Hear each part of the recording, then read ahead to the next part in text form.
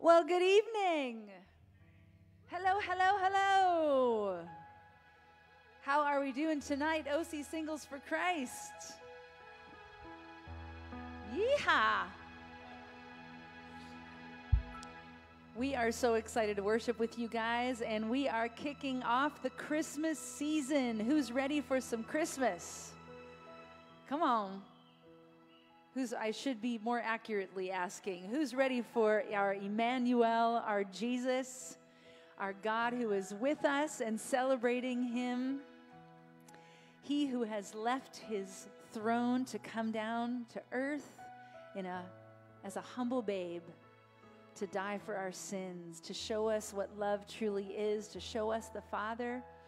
So we're excited to lift up his name on high and proclaim his great promises. For those of you that have joined us online, we are so glad that you have tuned in. Hello, hello, and hello as always to Mama in Minnesota. Looking forward to seeing you in less than two weeks, I think it is. On that note, my name is Jesica, by the way. Say hi, Jesica. Hi, guys. Hello. Say hello to Alan and Audrey. Yeah. We are ready to lift up some hallelujahs, so why don't we stand together? It is our God who is so good to us that makes us sing. Amen. Amen. Hallelujah. Hallelujah. Hallelujah. Your love makes me sing. Hallelujah. Come on. Hallelujah. Hallelujah. Oh, your love makes me sing. Your love is amazing,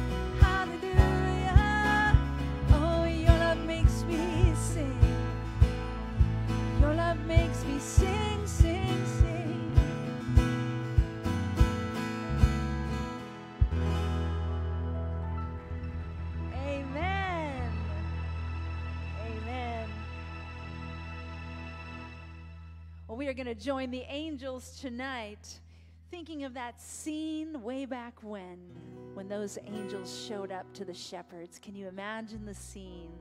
On a dark, starry night, and the angels showed up and said, There is good news. I don't know about you, but I could use some good news tonight that our God is with us. He is here, and He loves you with a relentless love no matter what's going on in our lives, His love will never change. Amen. So we're going to sing Gloria in excelsis Deo to our God. All right, let's get our Christmas on.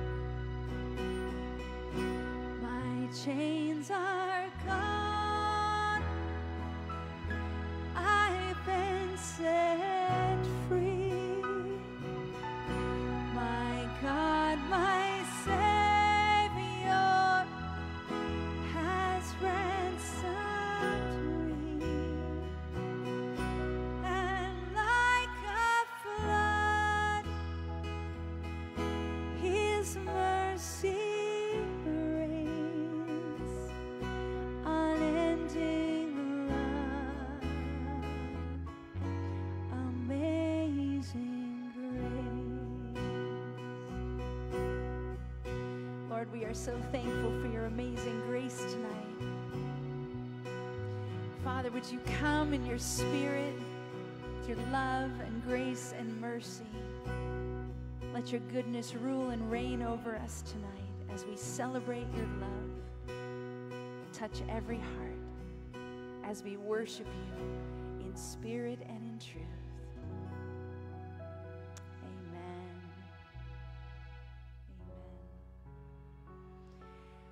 You know, I heard this quote and it so spoke to me.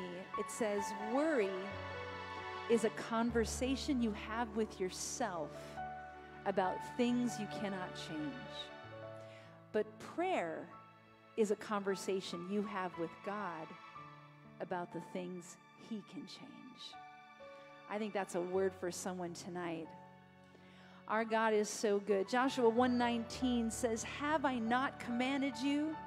Be strong and of good courage. Do not be afraid, nor be dismayed. For the Lord your God is with you wherever you go. James 2 says, Even the demons believe and tremble. You know, in Christ, that means we have his rex- resurrection power not only available to us, but it lives in us. Think about how awesome that is for a second. He is the light of the world. And we know that light dispels darkness. So everywhere you go with His light, you dispel darkness. I think that's an encouraging word as we head into the Christmas season to continue to be lights in this crazy, chaotic world. Amen.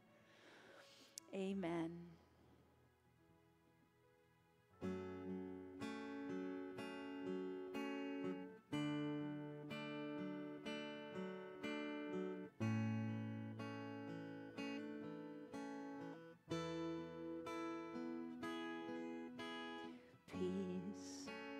Bring it all to peace. The storm surrounding me, let it break. At your name, still, call the sea to still, the rage in me to still every wave. At your name, Jesus, Jesus, Jesus, you make the darkness tremble. Jesus, Jesus, you silence fear. Jesus, Jesus, you make the darkness tremble. Jesus, Jesus.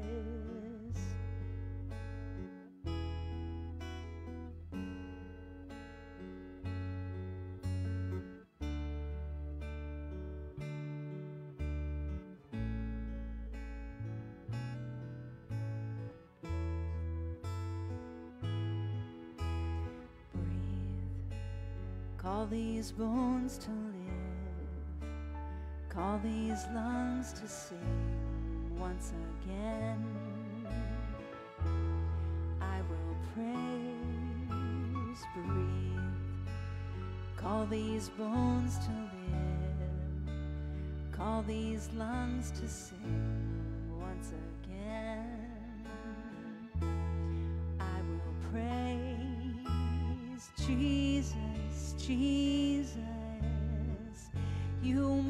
the darkness trembled. Jesus, Jesus, you silence fear.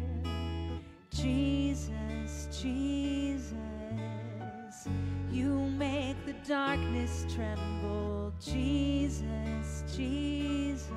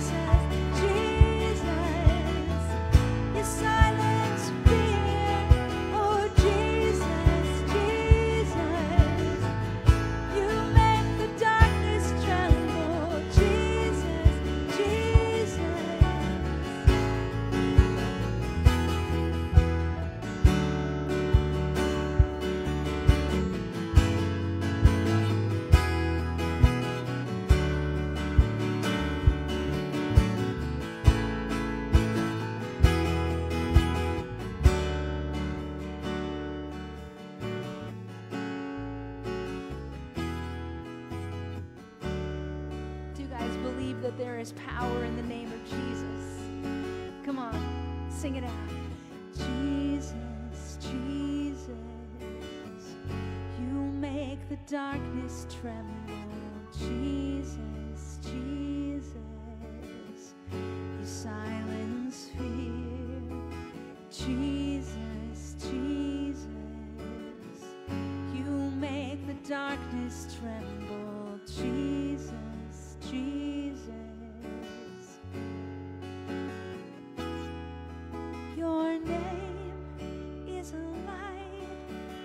shadows can deny.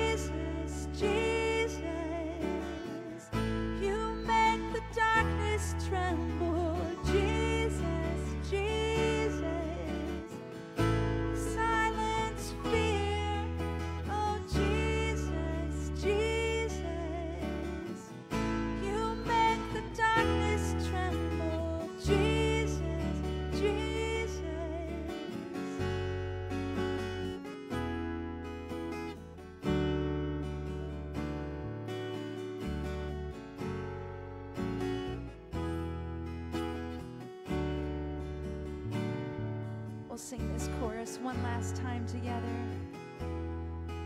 Whatever is going on in our lives tonight, we are singing the beautiful power and presence of Jesus over us, over our families, over this Christmas season. For some, this is a bittersweet time.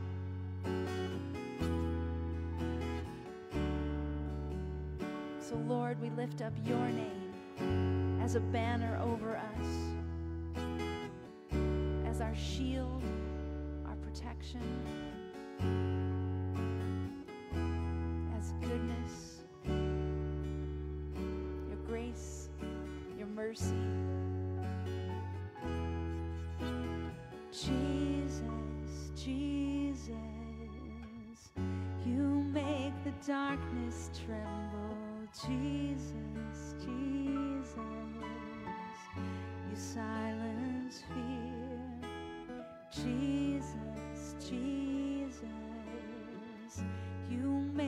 Darkness tremble, Jesus, Jesus.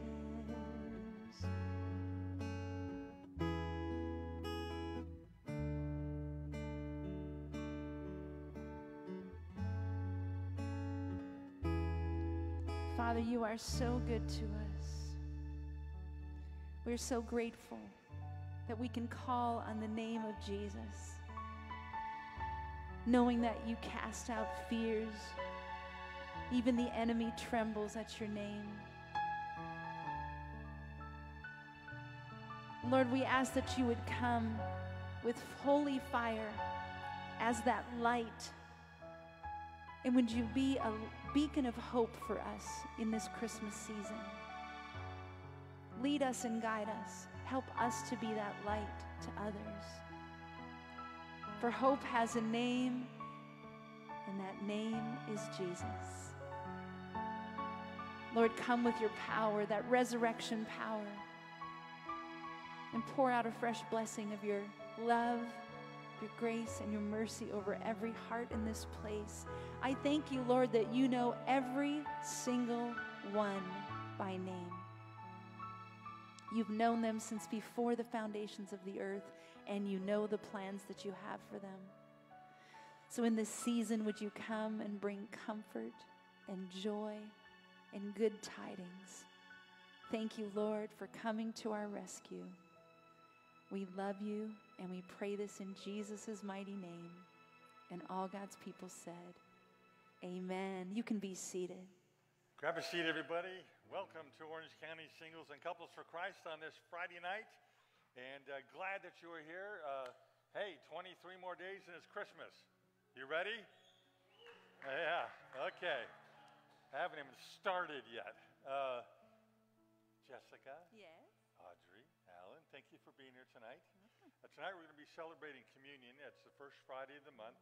If you didn't get a communion cup, would you raise your hand? There's a couple of guys in the back that'll be passing, uh, coming around with a, a basket to help you out there. We'll be getting to that in just a moment, but glad that you're here. And uh, how many of you guys made the potluck last Friday night? Yeah, a lot of you guys did. I was amazed at how many people showed up. Tons of food. Uh, I left right as uh, Bill uh, West started speaking. I have been sick with the flu. I'm fine now, about 95%, but the last two Friday nights I have not been able to be here. And if you need to lose weight, get the flu. Okay? I am down to my lowest weight in 16 years. So uh, slimming down, baby, slimming down. So, and uh, my poor wife's at home in bed with pneumonia, and she's lost about eight pounds. So, uh, uh, we both got the flu, and I kind of went one way, and her, for her, she kind of her chest, it, her cold got into her chest, and now she has incipient pneumonia. So uh, I've had it twice. I've said, "Honey, it's gonna be okay." You know, I had it when I was a kid a couple of years ago, and uh, I know medicines are a lot better than they were a couple of years ago. So I'm like, "Honey, hang in there. You're gonna be okay."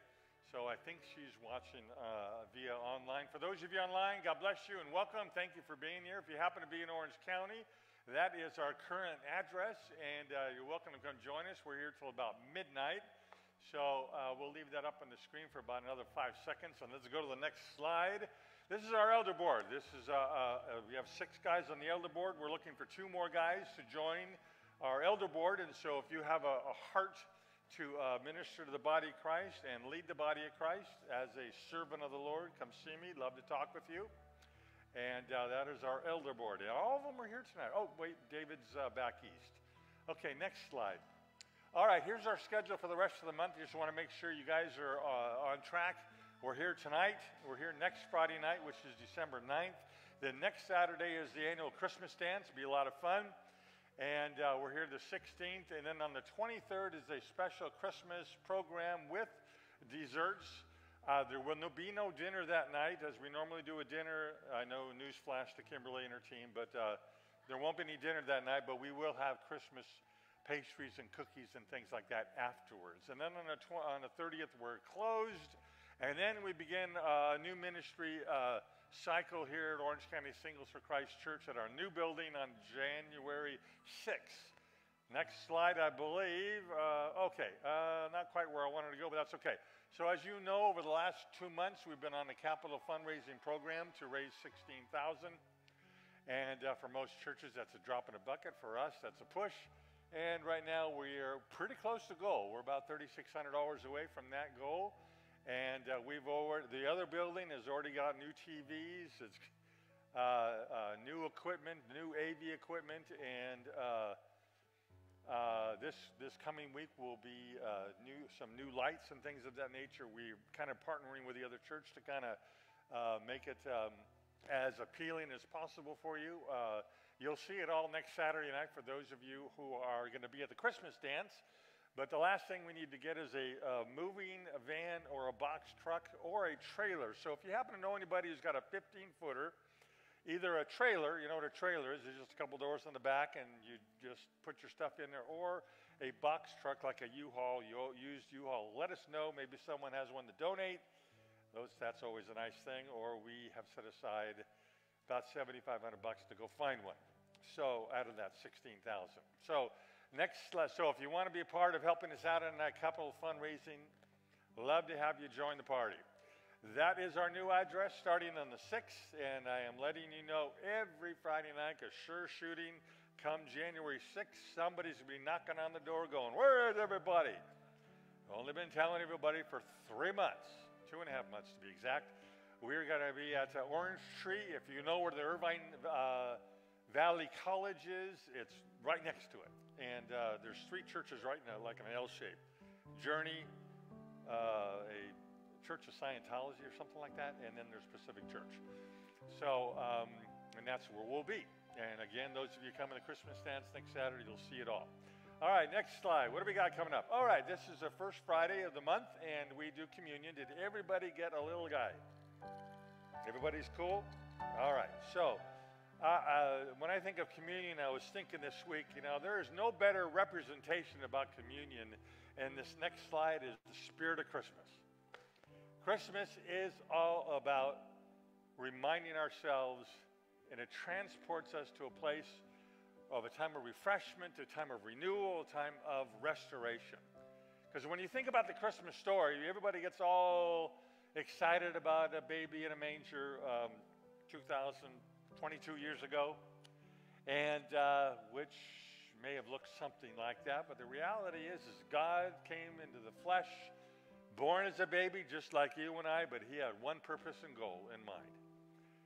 The Apostle Paul says he was to ultimately be a sacrifice. And if you look up that word in the Greek, it means to give, it means to get murdered. And uh, basically, Jesus Christ was murdered for yours and my freedom, forgiveness, restoration, home in heaven, etc. It's all, uh, Christmas is all about that. So then this next slide, I break, uh, broke down the three R's there. It refreshes our memory and understanding of Jesus' appearance on earth. He was born to die. I just mentioned that. He came to set the captives free. Who are the captives? We were. Matter of fact, everybody who's ever been born. He came to save us from our sins, and He came to give us a path to the Father and to Himself in heaven, and opening up heaven itself. As represented when the night that Jesus, or the afternoon that Jesus was crucified, one of the things took place was, anybody remember? What happened to the temple curtain? Got torn up to the top or top to the bottom? Top to the bottom. Only God could do that. Rip that puppy in two, saying, Hey, the way into my presence is now open to any. And you and I have that opportunity 24 7. Doesn't matter where you are, what you're going through, you all and we all have a path to Him. I love that. In this next slide, in a time of renewal, it's where we uh, recommit ourselves to Jesus Christ we recommit ourselves to our mission in life because we've all got a mission, which is to glorify God and to make Him known to others. Pretty basic stuff. To glorify God in us and through us in our work, in our, in our daily living, and to make him known to others as God opens up opportunities for you and I to witness to other people. That's our mission. And that mission is coming to a close. I don't know about you, but I think that Jesus is coming back soon. And when he does, this time of kingdom building is over. The time for you and I to earn rewards, to be a part of extending this kingdom to one more soul, is over. Why would that be? Anybody? Because we'll be in heaven. There won't be any evangelization in heaven. There won't be any souls to get saved in heaven. There won't be any opportunities to tell people about Jesus in heaven because they're going to see him face to face. But it's a time of renewal, and we need this on a daily basis, by the way. And then finally, a time of restoration where we always need a restoration of fellowship with him, with him on a daily basis. Life just gets going on the years of my life, the pressures of the day, the debts that pile up, whatever. And we need to remember at the end of the day, it's all about Jesus. And therefore, we always need to have a, tense, a sense of continual cleansing because you and I go about life. We hear things we shouldn't hear, we see things we shouldn't see, or we think things we shouldn't think. And uh, we need to be cleansed. And we need to always have a sense of God's love and care for yours in my life. Because it's easy to forget this. And I think there's a reason why Jesus talked about doing communion as often as you meet. We do it once a month. The early church was doing it every day. Why? Because they needed to be reinforced over and over and over again that God loves us, God cares about us, God has a plans for us. It's going to be okay. We always need the spirit of Christmas in our lives. That being, God so loved the world, and you can fill in the rest. That He loved you enough to come and leave the glories of heaven, to hang around for 33 and a half years, provide a pathway for you and I to end up in glory. In this next slide, we are given uh, Jesus' account of the Last Supper. When he had taken a cup, this little guy right here, you can grab this little puppy. He had given things. He said, Take this and share it among yourselves, for I say to you, I will not drink of the fruit of the vine from now on until the kingdom of God comes. And when he had taken some bread and given thanks, he broke it and gave it to them, saying, This is my body, which is given for you. Do this in remembrance of me. The same way, he took the cup after they had eaten, saying, This cup, which is poured out for you, is the new covenant in my blood. And I would strongly suggest that you go and under, if you don't understand what's going on here, this is a Jewish Seder taking place, the Last Supper. Bread is significant. Took the cup is significant. There were four cups on the on the table, and uh, Luke is very specific. He took the cup and talks about a new covenant. Jeremiah 31 31, I've said this a million times. This is Jesus instituting Jeremiah 31 31 in people's lives. And finally, the Apostle Paul adds a little bit of uh, a disclaimer to the um, Lord's Supper. For he says some of the same things. For as often as you eat this bread and drink the cup, you proclaim the Lord's death until he comes, which we do, reminding ourselves afresh, afresh of what the payment was for us to enjoy the presence of God in our lives. Therefore, whoever eats of the bread or drinks of the cup of the Lord in an unworthy manner shall be guilty of the body and the blood of the Lord. But a man must examine himself, and in so doing, he is to eat the bread and drink the cup. For he who eats and drinks, eats and drinks judgment to himself if he doesn't judge the body rightly. Interesting that Jesus didn't talk about that, but Paul did. And there's just a sense in which you come to the communion table, you just get right with God. Is there anything there that God has a controversy with? I'm not your Holy Spirit. I'm not the angel on your shoulder that walks with you every day, that angel being the Holy Spirit. But you also have the adversary on a shoulder as well, uh, whispering stuff or we do things we just shouldn't be doing. And when we do get off the rails, so to speak, we find ourselves in a place where we need to just judge the body rightly. So in a moment of silence, ask the Holy Spirit if there's something He has a controversy with in your life and ask Him for forgiveness. That's what it's all about. So I'm going to shut up and you do business with God, and then we'll partake.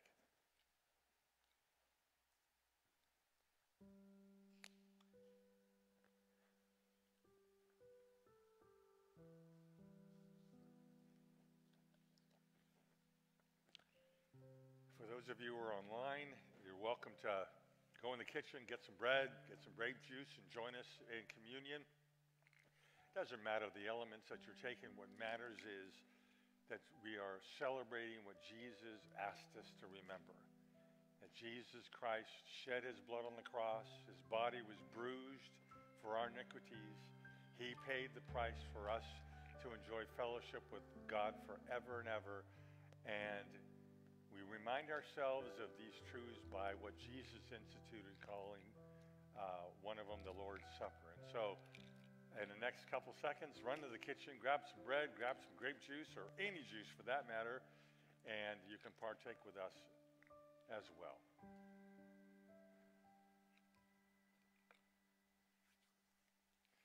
Now, friends, as we look at this little hourglass, on one side is some grape juice, on the other side is uh, a little wafer. And uh, let's start with the wafer tonight.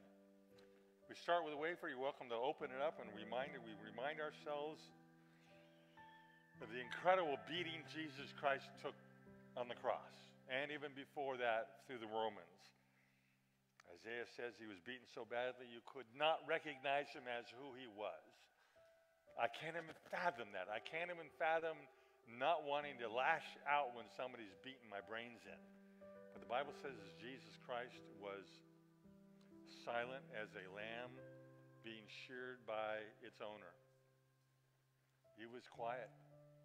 Amazing to think about in the midst of all that. So, as we take this bread together, we remind ourselves of the broken body of our Lord Jesus Christ.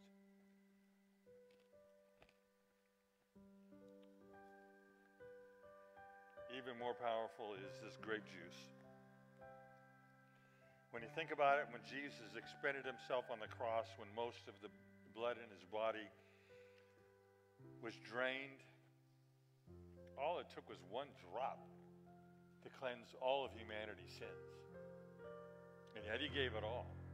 But one drop of Jesus' blood would have been sufficient to cleanse all of humanity's sins because he was the God man, he was sinless, he was the lamb slain before the foundation of the world. He came to live a life in submission and humility to the Father, empowered by the Holy Spirit, but he knew his mission in life would eventually be to be a sacrifice on a cross for you and I. For all of eternity, we're going to see some nails in his hands, and I guess if you asked, he could show you the spear mark on his side. But I think we'll get it pretty quick when we see him. The glory, or not the glory, but what he went through in order for us to enjoy the glory of being in his presence. So let's partake of the juice together as we remind ourselves of the shed blood of Christ.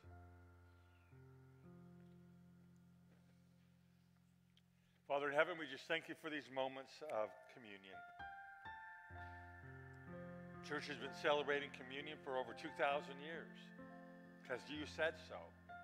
Because it's a time of reflection, it's a time of restoration, it's a time of renewal.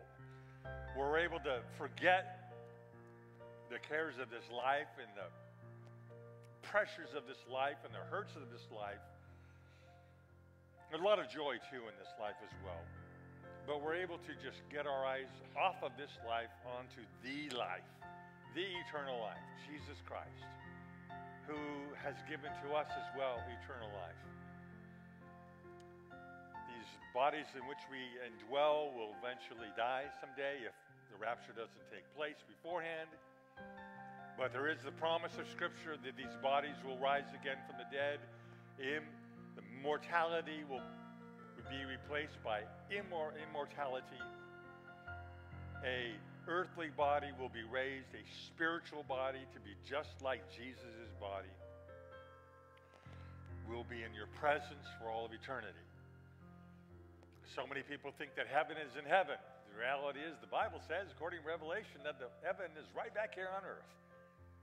After the thousand year of and there's another rebellion, the earth is burned up by fire and renewed, restored, beautified, and the new city of Jerusalem, 1,500 miles cubed, comes out of heaven to rest upon the earth. Amazing, amazing thoughts to think of. When we look at the picture of the New Jerusalem, how gorgeous it is. That is our home. That's our future. So, Jesus, thank you for the communion time where we can be renewed, restored, and reminded of your amazing grace extended to us at the cross. In Jesus' name, amen. All right, ladies and gentlemen, I love communion. I don't know about you, but it just, for me, it's just a time to get recentered. That God is a good God. God is a gracious God. God cares about me. He cares about what's going on. And at the end of the day, when Jesus says time to come home, it all becomes nothing. And we enjoy the beauty and the cares and the love and the warmth of heaven itself. The band's going to take a break and they'll be back in about a half an hour. Uh, at this time, there we have two classes for you to enjoy tonight. We're in the Christmas season, so both messages are kind of about Christmas. I am in here talking about the grandeur of Christmas, and Pastor Mark is standing right there. He's going to be in room 10, and he's going through a series on Jesus, Mary, and Joseph. Tonight he's looking at Joseph, a just man, and he's going to be in room 10. So please, those of you like to join Pastor Mark, follow him and march out to those, those doors right there into that classroom. And uh, both classes will be back in here at, uh, well, we're not going anywhere, but Pastor Mark's class will be here about 8.50, 8.55 or so. And uh, that time we'll finish up the evening. All right, you guys, good to be with you. Anybody here for the first time, by the way? Anybody here? Do We have any first timers? Hi there. Trisha is way over there. And are you three of the gals from New Mexico? Hi there, New Mexico. Lady number one, lady number two, lady number three. Uh, they actually are from New Mexico and uh, checking us out, and they're going back to New Mexico tomorrow, if, as from what I understand, anyway. So tonight I am uh, beginning a series entitled "The Grandeur of Christmas." And you know, we live in a day where it just seems like Christianity is on the wane. Even in evangelical churches, Bible teaching and Bible teaching churches, defining that for you, people have stopped believing in the basics of Christianity, even the authority of Scripture. And may I humbly suggest to you that once you leave and lose your view of Scripture and the authority of Scripture, you have nothing. You have nothing. If this does not have the, if this is not the Word of God, then it's just a bunch of history lessons, history, cool stuff that took place a couple thousand years ago, and that's about it. Because truth is irrelevant. Truth is whatever you choose it to be. And yet the Bible declares itself to be the Word of God, and, if so, it is the authority for yours and my life. And most of humanity today is very much unchurched. Even in America, where you think about uh, being a Christian nation, we are very much a third world nation when it comes to the Bible. Well, why, what's the cause for that? Why are churches seemingly failing, the church, the congregation, if they're failing? Is the unbelief of the world creeping into the church? Mm, probably. You know, people show up to potlucks, dances, movie nights, cruises, anything fun but get serious about God? Wait a minute. Eh, okay, you know, I don't need another Bible study. I don't need another Christmas story message. Yeah, you do. It seems like many Christians don't have time for God. I read this week, I don't know if you read the same article in Fox News, that Christianity, for the first time ever, is a minority religion in England and in Wales. Did you know that? That's a country of thousands of years of churches and great Christian men and women of God who've written marvelous books, marvelous edifices to Christianity. Is Christianity is now a minority religion. Every 10 years, they do a, they do a census of what's going on in that country. And in uh, 2001, 72% of respondents said they were Christians. 72%. In 2011, 59% said they were Christians, and in 2021, 46.2%. Going down, going down dramatically. there was almost as many atheists in these two countries than there was Christians, or there was Christians. It's really fascinating. And uh, you think of that and you go, what's going on? Because didn't Jesus say, hey, I'll build my church and the gates of hell will not prevail against it? What's going on? When you look at various parts of the world, what's going on? I just think you need to take a look and see where's God moving around the world. And America has had its place. We've had our uh, revivals, we've had our awakenings. And America sure needs another one today because we're believing in everything except the Word of God today. In America, there is a dramatic shift amongst the youth of today that don't believe in anything. It's really interesting. And when you think about the fact that for last, since the advent of the smartphone or the computer, most people, most young people's friends are on the computer or TikTok, which, by the way, happens to be run by China. If you have TikTok on your cell phone, throw out your cell phone or at least delete TikTok because you are being indoctrinated, whether you realize it or not. But there is, uh, in Arizona, the Arizona um, uh, Christian University did a research and found that amongst the youth of today, there's just a massive drop off. And it's really sad. But it doesn't mean that it has to stay that way. It just means that Bible appreciation amongst our youth of today has really declined.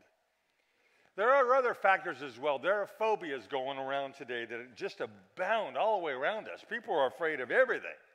People are afraid of death. People don't want to go to work. They want to stay at home and be work online. And that's why you have companies today demanding that their employees get back to work.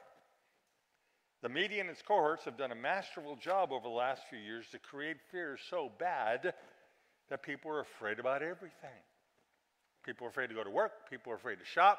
People are afraid to even go shop for food, which given, has given rise to Instacart, Uber Eats, Grubhub, and I think there's another one out there where people are ordering their food through delivery services because they don't want to go into stores. Interesting. People are afraid to shake hands because people still think the six foot rule works, which was a lie to begin with. It doesn't work. And when you sit at home all day long, like most people do, and you look at the news, it's all negative, negative, negative. Our mainstream media doesn't report on the issues facing America today. They're not telling you about inflation being at the highest in 40 years, gas prices through the roof, crime is exploding all over the places. There's a mass migration of people out of democratic run cities. I don't know if you know this or not, but there's a massive migration out of those cities because things are just out of control. But you would never hear that on mainstream media because there's this thing called deflection. Got a lot of puff articles, how to bake a turkey, how to, how to French fry a turkey. You know, they're like, that's really important to be talking about where you got all this stuff over here where society is just crumbling. Your kids are being taught down to a third grade level about LGBTQ, A, B, C, D, F when it comes to gender identification, and parents have no voice in the matter. You kind of go, whoa. But you got to filter through what you hear to be able to get to the truth of what's taking place. There's also this thing called the great apostasy taking place in our world today. In the, uh, this verse of scripture that's coming up, and because uh, I don't have it in my notes, this is found in Second Thessalonians chapter 2, verses 1 to 12. So I'm going to read quick. Now we request you, brethren, with regards to the coming of our Lord and our gathering together to him, yay, that's going to be fun, that you do not be quickly shaken from your composure or be disturbed either by a spirit or a message or a letter, as if from us, to the effect that the day of the Lord has come. Let no one in any way deceive you, for it will not come until the apostasy comes first what is the apostasy? It's the falling away from the faith. And you see that taking place in America. I just quoted you things from England and Wales, Scotland, and the, what's the other country that's part of that? Uh, they haven't reported yet. Um, but um, there is a falling away taking place. And then the man of lawlessness will be revealed. That's a, read that on your own. But the apostasy is taking place now. We also have the adversary. The adversary knows that his time is short. In this next verse of scripture from Revelation 12, we are told that Satan knows that his time is short and he's going to wreak havoc here on earth. And that's what you see taking place. People are just killing each other over nothing. I mean, you got those four people in Idaho who were slaughtered in their sleep and no one knows who killed them. You know, I mean, talk about ultimate evil. Woe to the earth and the seas because the devil has come to you having great wrath, knowing that he has a short time. Now, that hasn't happened yet. But the spirit of the world is the spirit of Antichrist. Satan is the prince of the power of the air. People are walking in darkness and they're walking to his marching orders and they don't even know it, according to Ephesians chapter 2, 1 to 4. I know there are verses of scriptures, by the way. So there's a lot that's leading to uh, this um, sense of the waning of Christianity. So, what's the answer to all this madness that mess that's taking place? Do we continue to live in fear? Do we fret over declining church attendance? Now, in some mainstream Protestant churches that are not preaching the truth, yeah, they are losing memberships because people are gravitating towards churches that are preaching the truth. Because people can smell a rat, and they can smell when things aren't being done right. Or do we find answers to our concerns someplace else. And hence, I believe the answer to that is found in the Christian, the Christmas message. It's the Christian message that brings hope and love and gets us to focus on what's taking place. God's answer to a lost humanity is found in the Christmas story. Today is December 2nd. Much is going to be thrown at you and I in the next 23 days. Different messages, that is. But as Christians, the Christmas message really the only message that matters, and we need to reacquaint ourselves with the Christmas message, for it is here we find hope and life and significance, the meaning in life itself, and freedom from fears. And so tonight we're going to embark on a three week series on the intention of Christmas and hopefully have some fun in the process. While our society sheds off Christian traditions, it used to be Christmas break, then it became holiday break, now it's winter break. While our world focuses on wars, climate, chairs, uh, climate change, supposedly anyway, deficit spending, and volcanoes, volcanoes going off all around. You guys watched the uh, Mauna Loa going off this week? First time in 40 years in the main island of Hawaii. I think it's cool. And there's another volcano that's going off someplace in Europe, and there's other ones going off as well. Ireland, um, I think it's cool.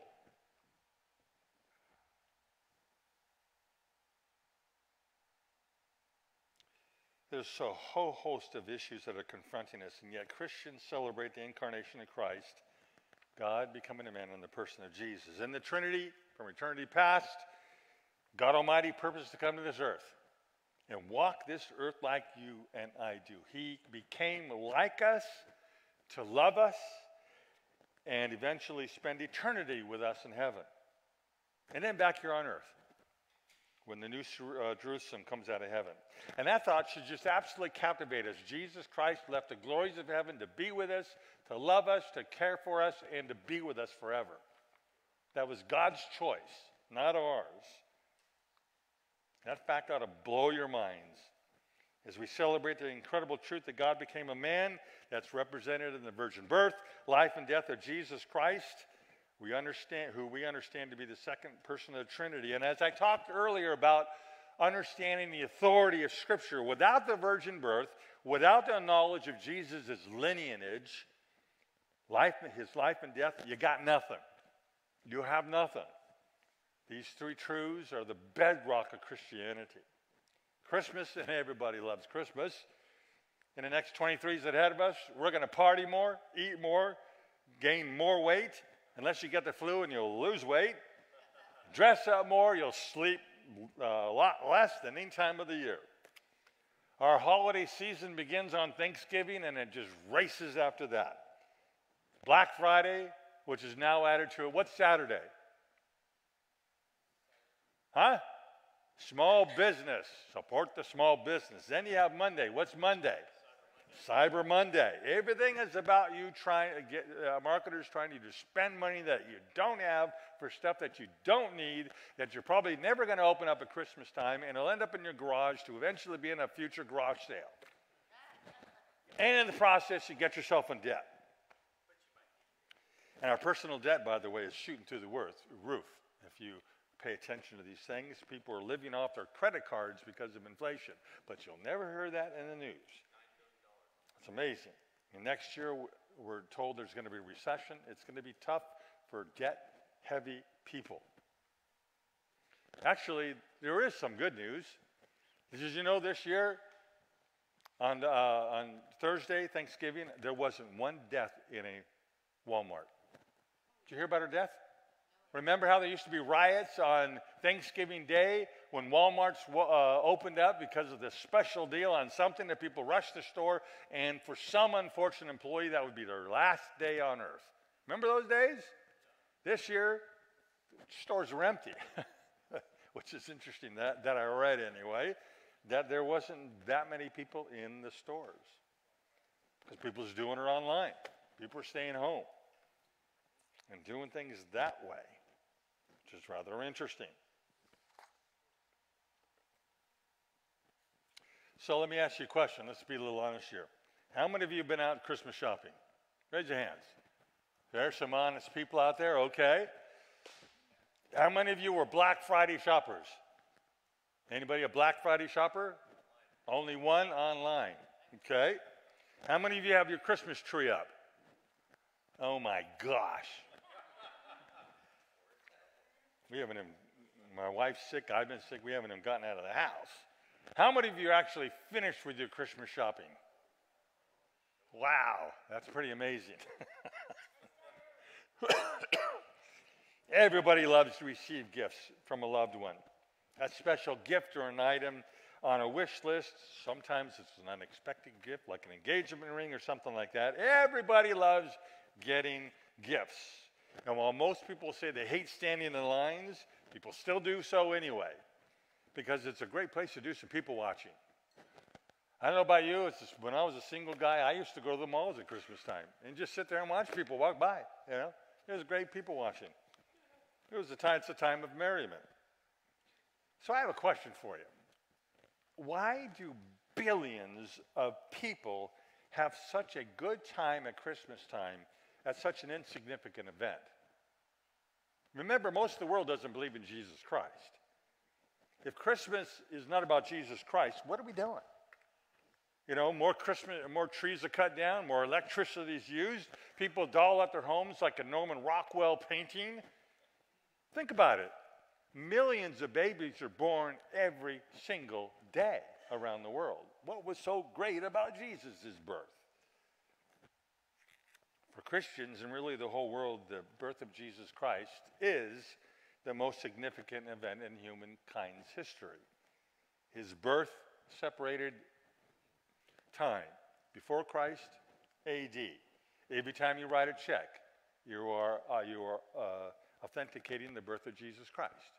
Today is December 2nd, 2022. You are simply validating the fact that we are 2022 years forward of Jesus' birth. Fact is, Christmas was God's idea. He planned when it happened, when it would happen. When it happened, there was one common language of the day, which was Koine Greek. Everybody spoke Greek. The New Testament, most of it is written in Greek. How would it happen? Jesus or God had already planned it out with two youngsters, Mary and Joseph, a couple of poor individuals where it would happen. God's call to both of them was in Nazareth. If you know anything about Nazareth of that day, it was a city of about 20,000 people, and it was a place in which the Roman soldiers went for leisure, if you catch my drift. It was a morally bankrupt city.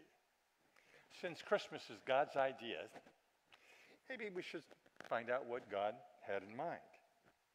On the night that Christ was born, God sent an angel to announce Jesus' arrival. In that birth announcement, we find God's three intentions for Christmas. And tonight we're going to look at the first intention of Christmas. In the same region, there were some shepherds staying out in the fields and keeping watch over their flock by night. You've heard this story a million times. It is worth saying another million times. An angel of the Lord suddenly stood before them, an angel of the Lord, by the way, and the glory of the Lord shone around them, and they were terribly frightened. Translation pooping in their pants. Next slide. But the angel said to them, Do not be afraid. Angels always seem to say that every time they show up. Why? They're huge, they are powerful looking, they scare the heck out of you. I bring you good news of great joy, which will be for all the people.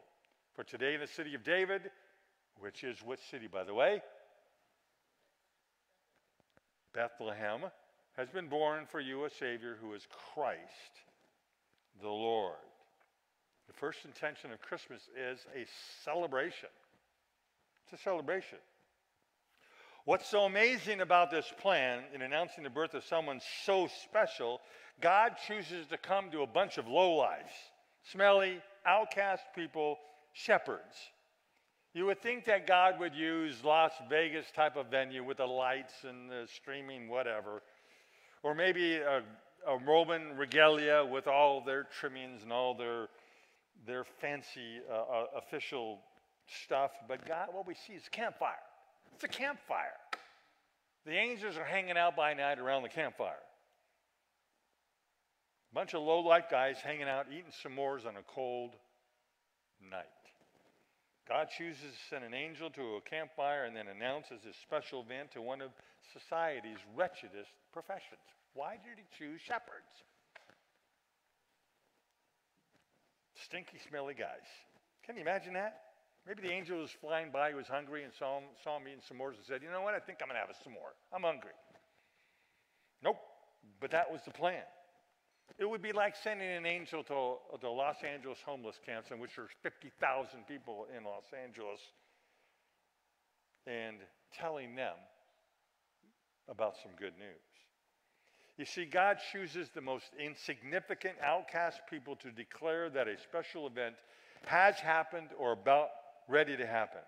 Consider Daniel with the king, with the handwriting on the wall, with King Belteshazzar. Consider David and Goliath. Here's David, a ruddy guy, a youth, coming up against a guy nine foot six. And how about Gideon? Oh, mighty man of valor, Gideon. And where's Gideon? He's hiding in a wine press. And the angel of the Lord comes him, Oh, mighty man of valor, the Lord has called you to lead the pure people. Are you kidding me? God always chooses and uses the underdog. And frankly, who's the underdog? Us. We're the underdogs. You say, How do you figure that out, Pastor? Well, we'll see in a second. You think maybe God would start with Biden, announce it from the top on down. Or maybe our governor, who makes, loves to make decrees and then doesn't follow them. Where all the power brokers are. Maybe that's where God would show up. The game changers, the so called elites, people of influence. God doesn't give a rip about people of influence because He's the God of influence. The elites, power structure, or influence means nothing to God. He always works in a way that is different from how the world thinks. Consider 1 Corinthians chapter 1. The Apostle Paul makes it really clear in this observation about you and I, and it's rather humbling to read. For consider your calling, brethren. There are not many wise according to the flesh, not many mighty, not many noble or rich. But God has chosen the what? Foolish things of the world to shame the wise. God has chosen the weak things of the world to shame the things which are strong, the base things of the world I hate being called a base individual. You know what that means? You're a low life. You're base. But God uses the base things of the world to despise and God and despise. God has chosen the things that are not so that he may nullify the things that are, are so that no one may boast before him. God specializes in using ordinary people. Right here, right in this room, ordinary people. Gotta love it. For Christians, this time, this is the time of year celebration because he planned it to be a celebration. It's a time to announce good news to anyone we come across. This is our holiday. This isn't Happy Kwanzaa or Happy Hanukkah. No offense to those religions. It's our religion. This is our holiday. This is Christmas. Period. And we should be very happy about that. So, what are we supposed to be celebrating? Well, the angel tells us, I bring you good news of great joy. There are three reasons to celebrate. Number one, coming up on the slide here in just a second. Oh, we're going to skip that and we're going to skip the next one. God loves you. That is a reason to celebrate. John 3:16 For God so loved the world that he gave his only begotten son that whoever believeth in him should not perish but have eternal life. Can you remember back before you knew Jesus to remember that you had no life and you had no idea where the heck you were going in life? You go, How can you say that, Pastor? Because people who don't know Jesus are walking in darkness and they don't know where they're going. And all of us have been there. You come to know Jesus Christ as Savior and Lord, when He comes to take residence in your heart, He begins to give you direction and enlightenment. And one of the things He says is, I love you. And what God is saying to you and I this Christmas is, I love you. It's not just the world that I love, and God does love the world, but it's a love based upon a relationship.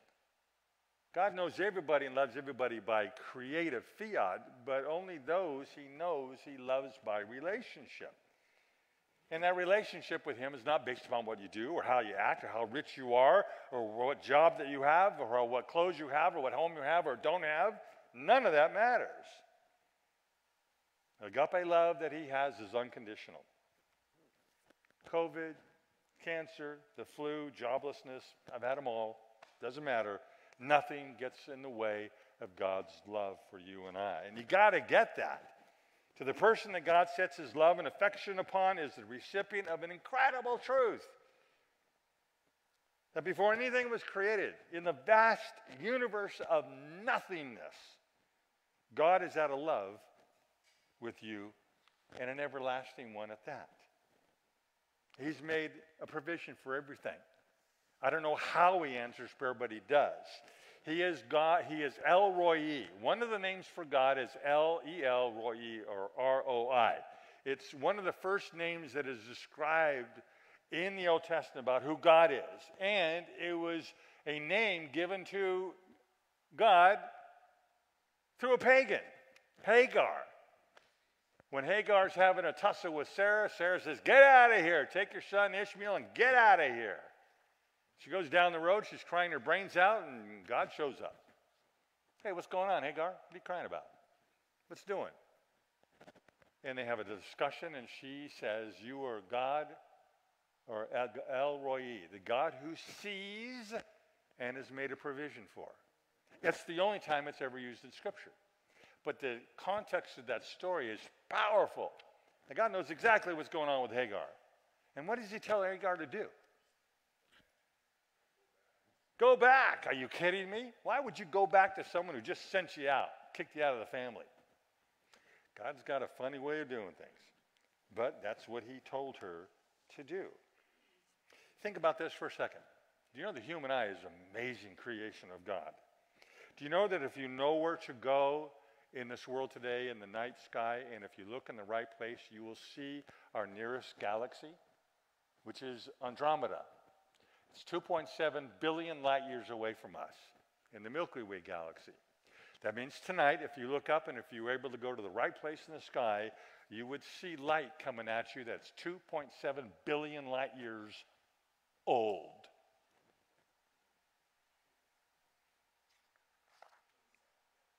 Before all that light, God knew you.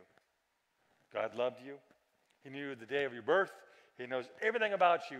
He knows when you are a one cell, undivided thing in your mama's womb. He knows your skin color, your height, your weight. In my case, thankfully, he's got a calculator with a minus button on it. He knows your sin condition. God would make a plan to rescue you from your sin. He knew of your spiritual birth. God knows your future home in heaven and your address there. and you will see the unseen God face to face for all eternity to come. Bah, love it. Under any trying condition, under any horrible situation you may find yourself in, or anything that you may find yourself in, main, this truth remains God loves you, God sees, God cares, God will provide. I don't know how He provides, but He does. There's nothing in us for the basis of God's love towards us. We're sinners, we're fallen from grace. Flawed in every way, but God loves us anyway. Nobody has less love from God. So God doesn't love you, my dear, more than he loves Scott or Dr. David. We're all on a level playing field. We all got it all on the day we got saved. There's no performance based acceptance with him. You don't have to do stuff in order to earn more of his love towards you. You got it all in a moment's notice. Romans 8. There's this incredible passage of scripture that, God, that declares God's in, intent of God's love for you and I. It's found in verses 35 to 38. Who will separate us from the love of Christ? Will tribulation? No. The answer to these questions is no. Little, little hint there. For, or distress? No. Persecution? Famine? Nakedness? Peril? Sword? Just as it is written, for your sake we're being put to death all day long, we're considered a sheep to be slaughtered. Boy, that's really fun to know. But in all these things we conquer through him who loved us. That's a yay. In all these things we over, overwhelmingly conquer through him who loved us. Yay! Hello. I am convinced that neither death, yay, Come on, man. Play with me here. Did I put you all asleep already? Here, have some water. Somebody needs some water. Nor angels, or principalities, things present, nor things to come, powers, height, depth, nor any other created thing. I love that one. No other created thing will be able to separate us from the love of God that is in Christ Jesus our Lord. Amen. And OC family and friends, that's great news. It's not just good news, it's great news. There's absolutely nothing that can get in the way of God's love for you and I. God loves you and I, and that is something to celebrate. So get off your butt or your seat, turn around and say, God loves you, and so do I, and then have a seat. Let's celebrate. We're on point one God loves you.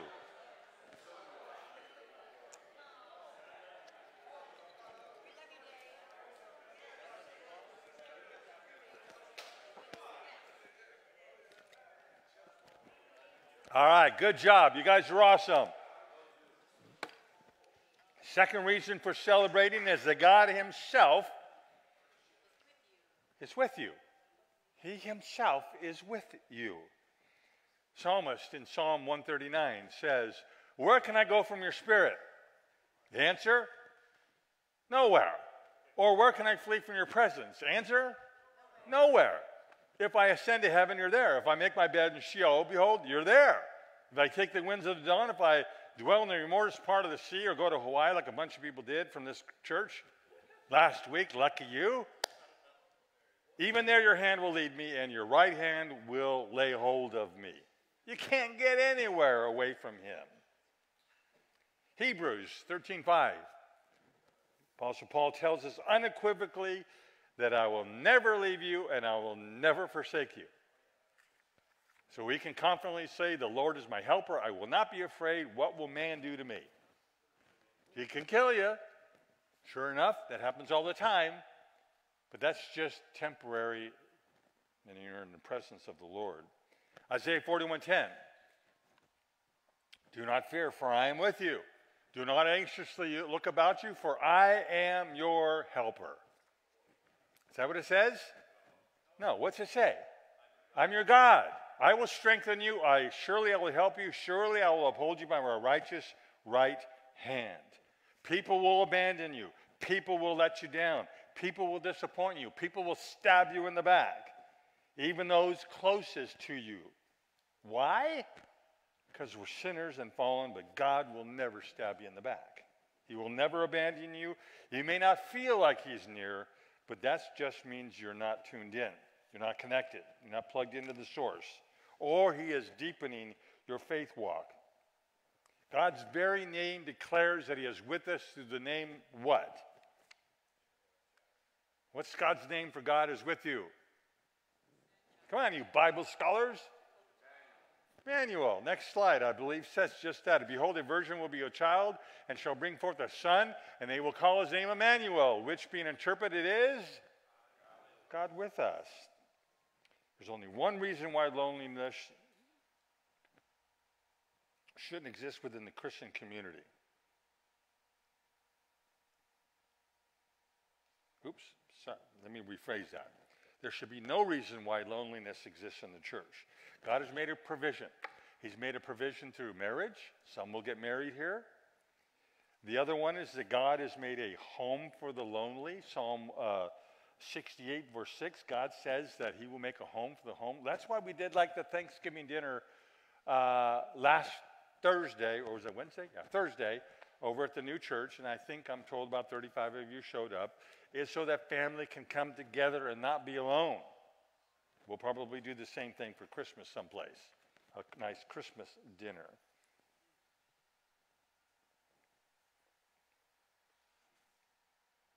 If I could be so cold, so bold as to say this, if you're not a Christian tonight, you're missing out on one of life's greatest experiences.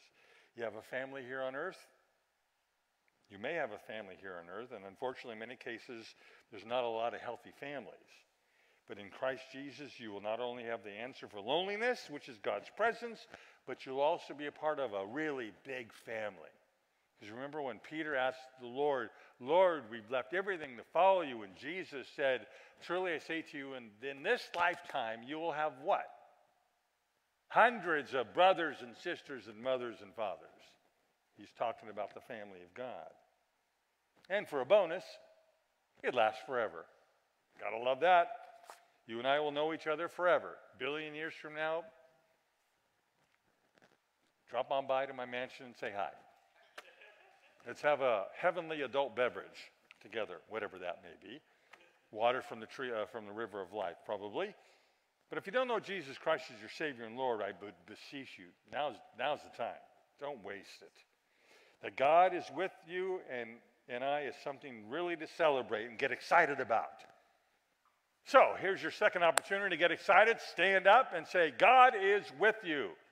And thank you for being here tonight in the body of Christ. Get up and say, God is with you. Thank you for being here.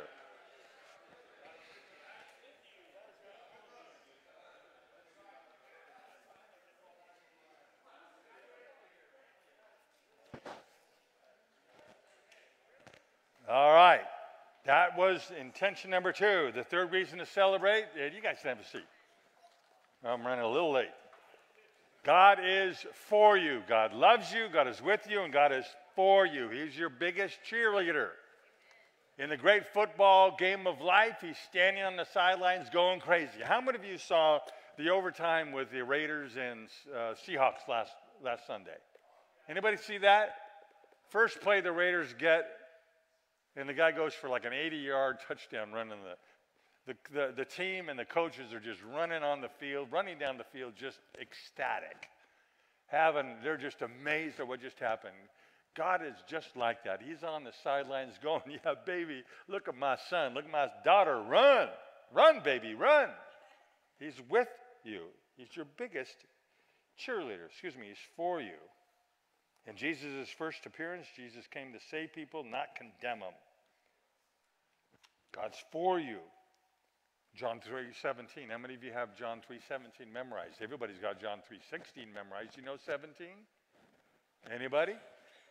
For God did not send the Son into the world to judge the world, but that the world might be saved through him. It's all about salvation the first time around. Second time around is judgment. Not a good place to be if you're still here. And I hopefully you are not. Just like it, Jesus here doesn't judge the world, and it's not our place to judge people's position in life either, or their future place. God already knows where they're going to end up. People already know they're sinners. They already know they're flawed. They don't need us to tell them, ah, you sinner. No, they need to know about God's love because that we are in this time of grace where God is forgiving anyone who will call upon his name. And we are the avenue in which people come to know and hear, hear and know that truth. That's why, we, that's why we exist as a church for single adults and couples. There's a million point three single adults in Orange County, and almost no church has an active outreach to single adults 40 and above.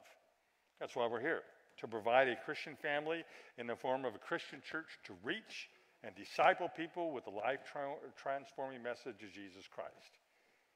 That's why everything that we do, every dollar we spend, goes towards singles. And we need your support in the process as well. If you're not supporting us or a church, hey, consider jumping in the jacuzzi. The water is warm. We need you. Heck, we need $16,000 just to move from here to the new place. And that's a drop in the bucket for most churches. For us, that's pretty close to Mount Everest. But we're almost there. The God who created the universe and who set the stars in their place and our earth in its axis, the, the, God that provides every good thing in our lives, says to us three things I love you, I am with you, and I am for you. No matter where you are, where you're from, or what you've done with your life, the good news is for you and me. That God loves you, that God is with you, and that God is for you. And that's worth celebrating. No matter what sin you may and I may have committed, no matter what tragic event may have happened in our lives, and trust me, I've had many, or what tragic event uh, that has been caused to us, nothing is beyond the forgiveness of the Lord or the restoration of the Lord. It doesn't matter that you're single tonight and wonder if the God will provide a spouse for you in the future. It simply doesn't matter in the long run. Because I got news for you. In heaven, everybody's single. You know that, right? Because Jesus did say in heaven there is no marriage or giving in marriage. Everybody's single. And for some of us tonight, we're just getting a head start. That's all. God says to you and I, I love you, I am with you, and I am for you. And that's the first purpose of Christmas is to celebrate. Celebrate those three things. What are they? God, oh, okay. You guys were there for me on that one. What are the three? Number one. Number two. Number three. Thank you. So glad, and that was without a cup of coffee. You guys are awesome. That is good news to give our hearts great encouragement. And to the world, a shout out for the reason why the Christmas season is upon us. With that, see you next week on the second intention of Christmas. And I see that the other class is joining us now. Let's close in prayer. The band will be coming up. And uh, we're only four minutes behind. Wow, that's pretty cool. Uh, okay, so Father in heaven, we come before you and we thank you for Christmas. Lord, really, Christmas should be every day of the year because the greatest gift that has been given and continues to be given is the gift of eternal life that can never be taken away from us. I personally come from the camp that once you're saved, you're always saved. Can we slide into sin? Yes. Can we backslide? Sure. But if we're saved, we always find our way back to you. The Holy Spirit has got a leash around our neck and He knows how to bring us back into fellowship. Father, thank you for Christmas and the celebration of Christmas. Thank you that you love us, that you're with us, and that you are for us. Help us to remember that when our flesh or the adversary or we, people that we love put us down or criticize us or say mean things, that our first response has got to be it doesn't matter what you think, what matters is what God thinks. That you love me, that you're with me, and that you're for me. Jesus, thank you. In your name I pray. Amen. Amen. All right, and is going to take us to, into a place of worship and our, commun- our uh, offering time, and then I'll be right back up. Amen. Why don't we stand together?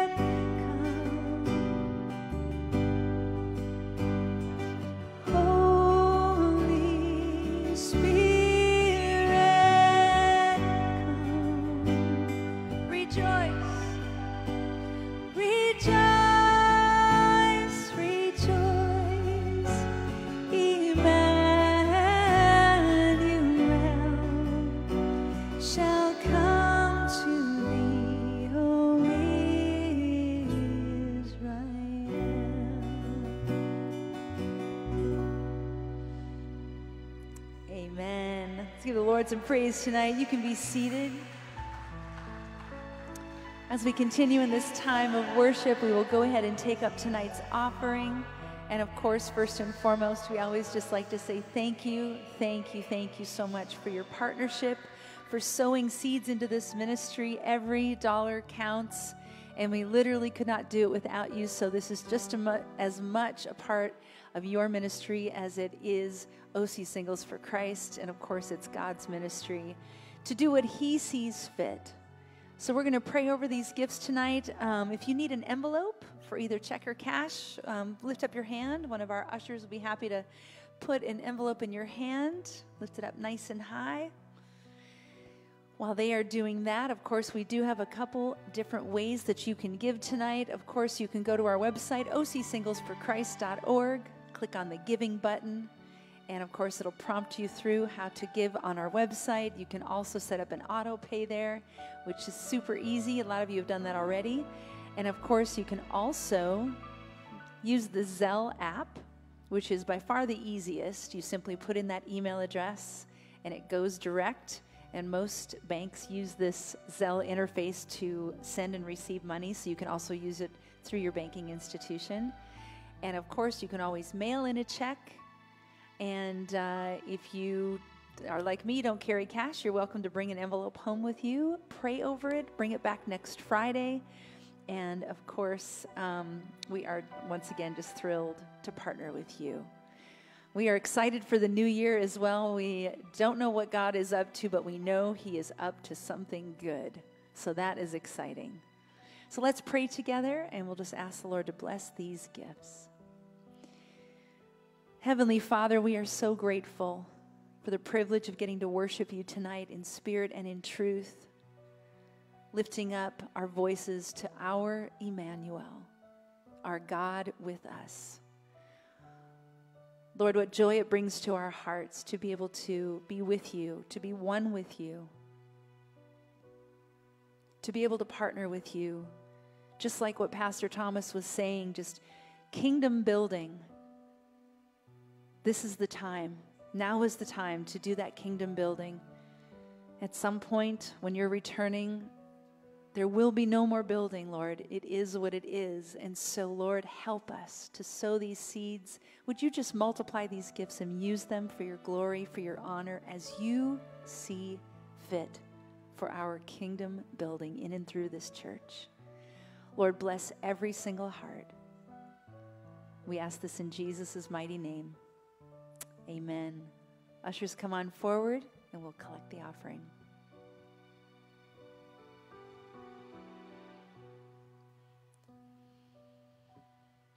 Rejoice, rejoice, Emmanuel shall come to thee, O Israel.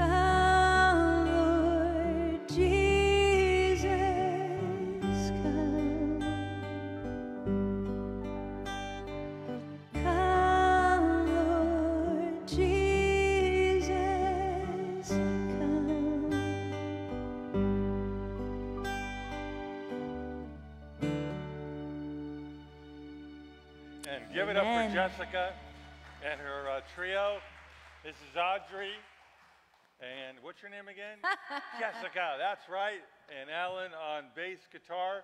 And, uh, you know, we always, on the first Friday of the month when we do communion, we kind of dial it down a bit to give it a more intimate feeling because it's a time of celebration as we consider communion. So thank you all for being here tonight.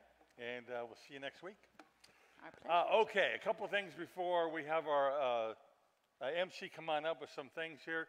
Number one, uh, I kind of, like I said, I was sick the last couple of weeks, uh, but I want you to know that there is a website, or excuse me, an email site that's called uh, prayer at ocsfc1.org. I know we do elder prayer uh, outside uh, this door here shortly right after the service for about 15 minutes, but during the week things may come up, or maybe you just didn't feel comfortable going to uh, be prayed over, but you can always use that email address to send us your prayer requests. We do have a prayer team that prays. They just met uh, this past Wednesday night, I, I believe. Yeah, Wednesday night, and uh, to pray over things. And it's prayer at ocsfc1.org.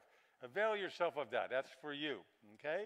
And next, finally, uh, what is, uh, okay, so want to encourage you that um, the uh, program uh, in a few moments will be turned off and, uh, and archived uh, on YouTube and uh, our, fa- our Facebook page site, which is uh, www.facebook.com forward slash OC Singles for Christ.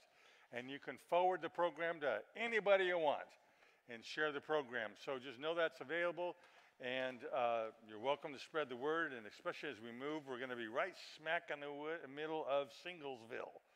So, because uh, we're going to be near the spectrum, and if you know the spectrum, it's all singles all over that place. And so it's going to be an opportunity for us to reach out to people who need Jesus Christ as Savior and Lord. And that's why we exist. Uh, churches have, you know, uh, youth and children and kids and all that stuff. We focus just on single adults and couples. And what's the last thing? Is there anything else that I need to cover before I get off the stage? Uh, welcome. Glad-